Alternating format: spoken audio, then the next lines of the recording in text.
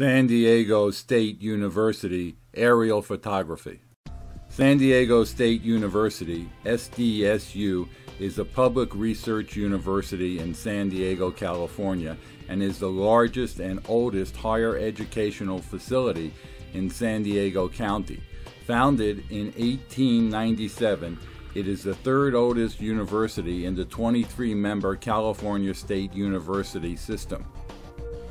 It has a student body of more than 35,000 and an alumni base of more than 260,000.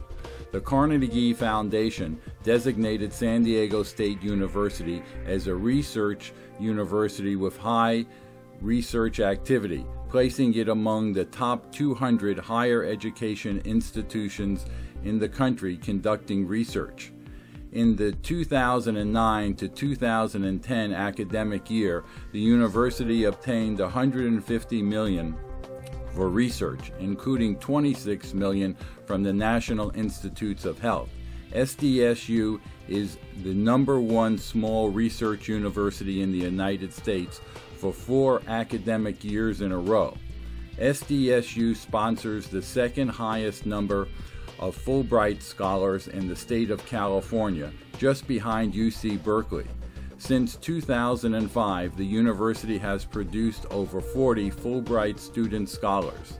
The university generates over 2.4 billion annually for the San Diego economy.